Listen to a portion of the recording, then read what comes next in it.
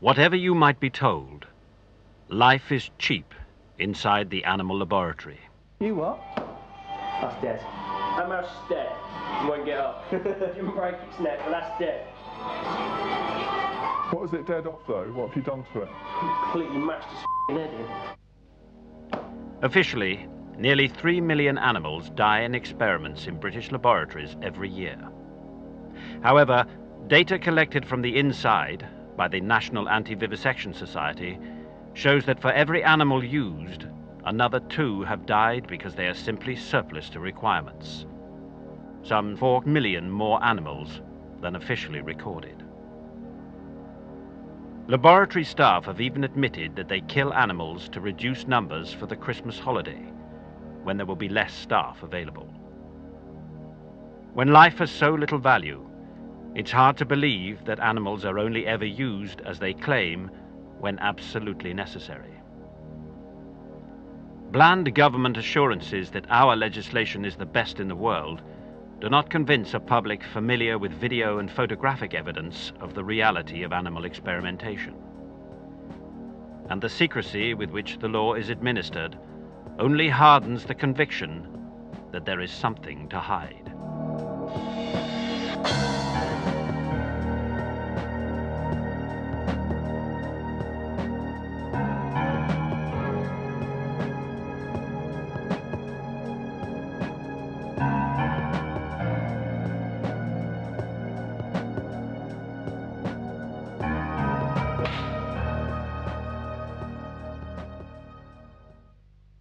It is hard to find another industry which generates so much public concern, yet is so manifestly unaccountable.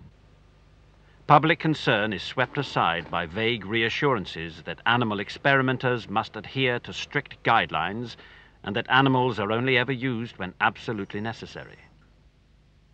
But a decade of investigation by the National Anti-Vivisection Society, the NAVS, shows that the law simply isn't working. The public have been duped. Whilst animal laboratories remain shrouded in secrecy, cruel and unnecessary experiments will continue unchallenged and public debate will be stifled.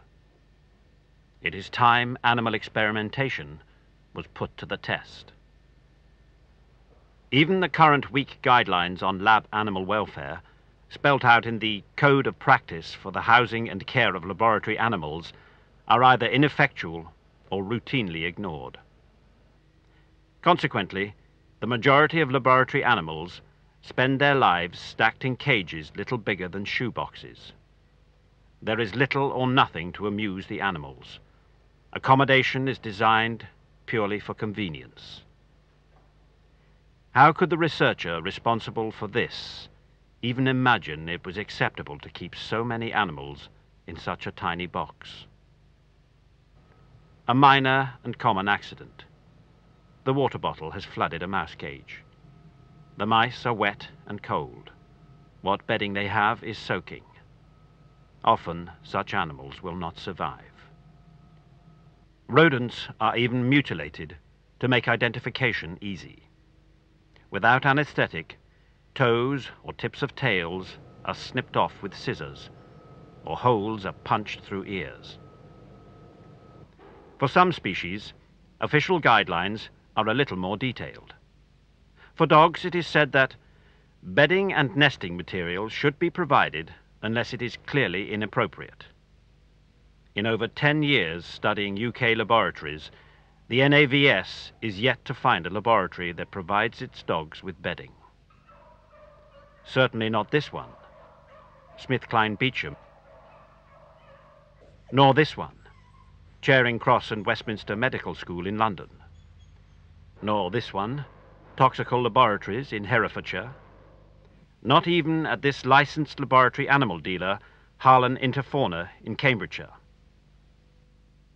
Although rudimentary, there are more guidelines under the Code of Practice for the housing of primates than any other species.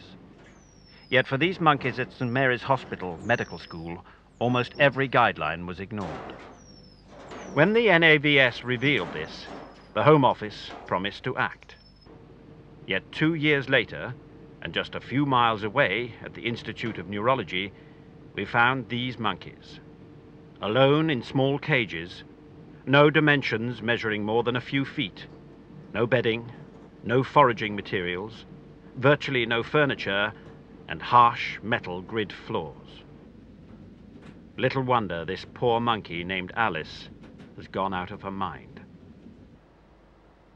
The Institute claimed her injuries were from cage mates at the laboratory that sold her, and that she had arrived in this disturbed state of mind. But she had been sold to the Institute by another British laboratory, Cambridge University. It is said that licenses to experiment on animals are only awarded to establishments which meet the guidelines in the Code of Practice. Clearly, the Home Office allows exceptions. Experimenters routinely claim that animals in UK laboratories come from licensed suppliers. Yet in a year, over a thousand animals may come from non-licensed sources or are supplied by middlemen. And what faith should we have in those establishments with a Home Office stamp of approval? In the face of public concern, the use of wild-caught primates in UK laboratories was banned unless the researcher can convince the Home Office that the use of wild primates is necessary. Consequently, baboons have been snatched from the wild and used in experiments. Was there an important scientific reason for this? No. There were simply not enough captive bred animals available at the time. These groundhogs once ran free. They were trapped in the USA and shipped to these miserable cages in a UK laboratory. The Code of Practice states animals caught in the wild should be kept in conditions which conform as nearly as possible to their natural habitat in such respects as light intensities, food, etc. No evidence of compliance here. The cages speak for themselves. So where is the evidence of these so-called rigorous controls? Elisa has a steel headpiece, tubes and electrodes permanently bolted into her head as part of a lengthy experiment to trace the connections between the brain and hand. This kind of research has been strongly criticized by scientists in this country and abroad. And the way the monkey is being kept breaches the government's code of practice on housing. The researcher responsible approached the Home Office for a five-year license, which would allow him to use 61 monkeys, 25 rats, and four cats in a variety of procedures. The Home Office awarded this license in just three working days.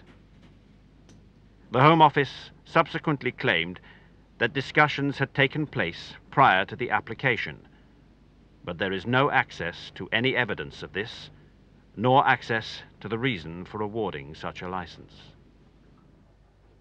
Again and again, the National Anti-Vivisection Society has shown experiments which are unreliable, unethical, and unnecessary. A single example should call the system into question, yet the list seems endless. Often so great are the differences between ourselves and other animals that diseases simply cannot be replicated, so a bizarre approximation may be used instead. Here, air has been injected behind the shoulder blades and an irritant added to cause inflammation in an attempt to mimic arthritis. Yet even the researcher at St. Bartholomew's Hospital Medical School conceded it is possible that the mechanisms that produce the air pouch and arthritis are not the same. At Charing Cross and Westminster Medical School, this dog has had a pacemaker fitted to induce heart failure. The dogs in these experiments suffer swollen abdomens and paws, loss of appetite, and fluid-filled lungs. Yet the results even differ between breeds of dog, let alone attempting to extrapolate them to humans. This is a multiple sclerosis experiment, but the animals do not have multiple sclerosis. They have a laboratory manufactured disease known as EAE, even though there are crucial differences between this and human multiple sclerosis. The rat is recognized as a poor model for human epilepsy, but that didn't save this one at St. Mary's Hospital Medical School. Even worse, the type of drugs being studied, were already known to give different reactions between rats and monkeys. Which results might the researchers attempt to apply to people? Probably neither. Animals are often used when a non-animal method is clearly available and is actually more relevant to humans. Cancers are grown on the backs of rodents, when human cancers are being studied in cell culture elsewhere. These monkeys were injected with excrement from other monkeys infected with hepatitis, yet human hepatitis can be studied in cell culture. Animals are used in experiments when the outcome is already known, when products have already been tested on animals or have been used extensively by people. Beagle puppies at Toxicol, a commercial contract testing laboratory, were force-fed a weed killer that had already been tested on animals and had been on the market for 20 years. These sheep are part of an ongoing series of projects at Oxford University, studying a pump designed to assist the heart after injury.